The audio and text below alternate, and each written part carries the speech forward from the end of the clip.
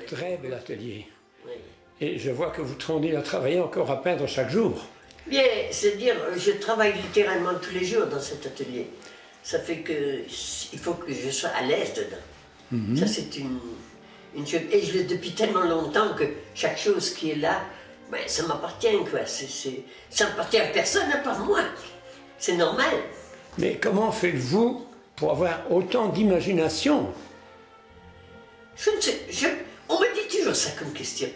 Mais je pense que c'est, c'est faux, c'est pas moi qui l'ai, c'est, mon entourage, les gens, ce que je lis, ce que je vois, qui me donne une façon de voir qui n'est peut-être pas pareille à tout le monde, c'est tout.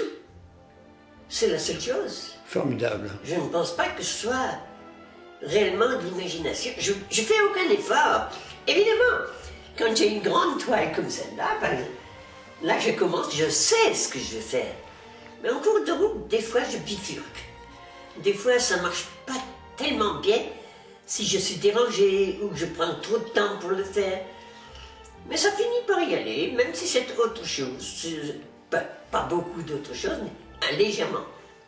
Actuellement, vous êtes euh, projeté sur un écran et des centaines de personnes vous voient. Ah, mon Dieu. Alors, si vous voulez les saluer, c'est le temps que jamais. Mais je, je salue tout le monde dans la salle, avec plaisir. Je vous remercie beaucoup de nous avoir accueillis chez vous. Moi, je vous en prie. C'est très gentil. extrêmement plaisir. Au plaisir de se revoir. Oh oui, je l'espère bien.